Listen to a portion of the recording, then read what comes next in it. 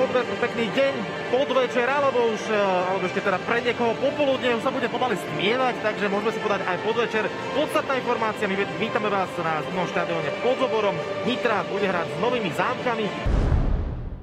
Tvrdoň nepáli, posúva na Zecha. Ten krásne posunul puk a Nitra vyhráva 1-0. Martin Vitálov si tam nakorčuloval a otvára skóre tohto stretnutia. Tak krásna akcia, v podstate zakončená obrancom Vitálošom. V roku 2021. Veľká príležitosť pre hosti a je to vyrovnané 1-1. Hein opäť uh, strieľa gol obrancu. Obranca teraz uh, prepadli domáci hráči traja proti jednému obrancovi uh, Nitri, ktorý tam zostal sám, no a Samuel Hain strieľa gol, ktorým vracia nové zámky do zápasu. Ale ono, keď si to pozrieme, tak vlastne jeden aj druhý gol padol po tej istej situácii. Ke... Šiestý hráč, Kolár. Posúva puk pre branku, je to gol, vylúčovať sa nebude, Minárik 2-1. Fantasticky to teraz zahrali domáci hokejisti, držali puk na svojich hokejkách, točili to pred Kibiahom a Dotočili to až takým spôsobom, že tento muž, na ktorého sa pozeráme, Jakub Minarik strieľa druhý gól. 4 minúty a 29 sekúnd pred koncom úvodnej tretiny. Nitra opäť vyhráva 2-1. Na dvakrát to podarilo. Nepríjemne tam strieľal Rogon a opäť je tu šanca a gól.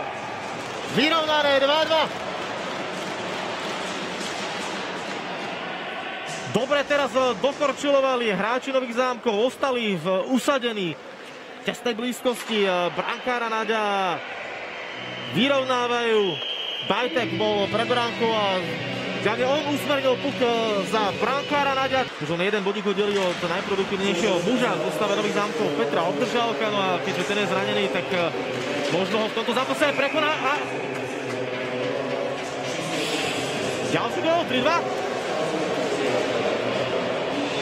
Pozeral som sa naskôr na rozhodcov, potom na hokejistov Nitry, pretože hráči Nitry sa tešia. Rozhodcovia ešte ukazujú, že idú telefonovať, ale ja Adrian myslím... Holašinský sa natlačil pred brankára Kiviaha prekonal ho. Ešte si počkáme malú chvíľočku, či ten gol aj bude uznaný, pretože podľa mňa samotní rozhodcovia asi neboli najskôr istí.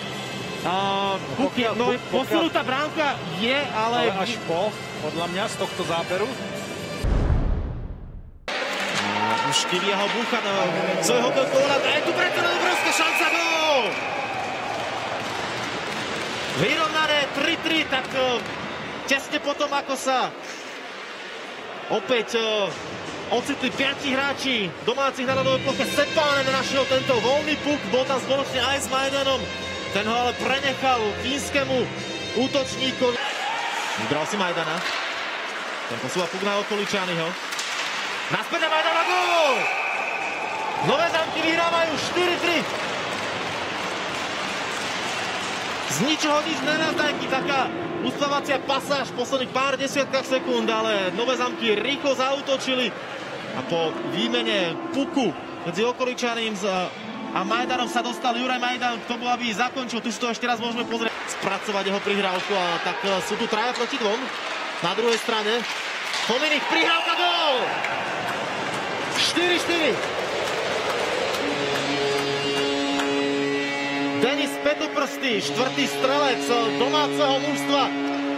Tak uh, milovníci gólového ofenzívneho hokeja, dnes je parádny deň v zápase medzi Nitrou a Novými zámkami, pretože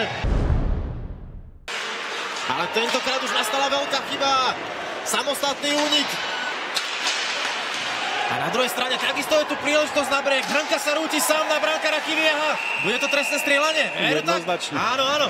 Tomáš Ronka vystihol túto rozhorávku chyba. Na druhej strane dostal sa do breaku a bol faulovaný. Uvidíme, či to zoberie na seba, pretože nemusí ísť faulovaný hráč, môže ísť spokojne niekto iný z e, týmu Nitry.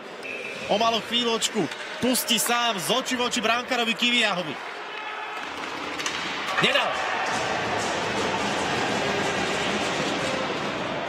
No myslím si, že toto Marek Tvrdo nespravil dobre, ne, ne, vôbec nerozhýbal hostujúceho brankára. Tu si pozrite, v podstate len stiahnutý púka strela. Novozamčani, uvidíme, akým spôsobom sa samozrejme etablujú, najmä Klárkovci. Rovnako tak Dodžet, ale teraz sa krásne etabloval v útočnom pásme Minárik 5-4, z ničoho nič strieľajú domáci hokejisti, 5. gol, 3 minúty a 36 sekúnd pred koncom tretej tretiny.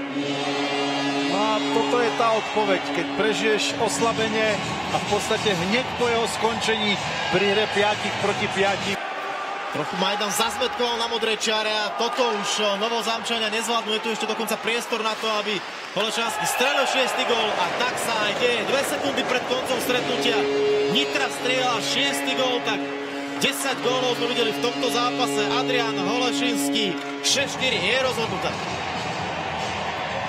No, pripomenieme, že nielen to bol gól do prázdnej, ale bol to druhý gól tohto hráča v tomto zápase.